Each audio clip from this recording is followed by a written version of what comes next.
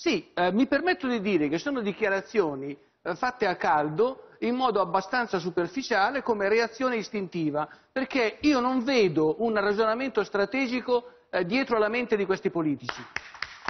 Non lo vedo. Non c'è.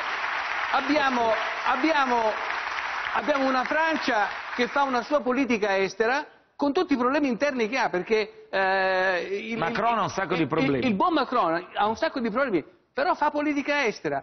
Theresa May fa politica estera. Senza convocare il Parlamento, tra Senza l'altro, convocare no? il ha deciso Parlamento. senza beh, ha deciso senza che c'è una polemica in Inghilterra perché non ha E convocato noi il poi Parlamento. ci ha lamentiamo se dobbiamo subire quello che fanno gli altri. Però le chiedo una cosa, scusi, perché è fondamentale, ma voi pensate, Alan, quando devi andare via so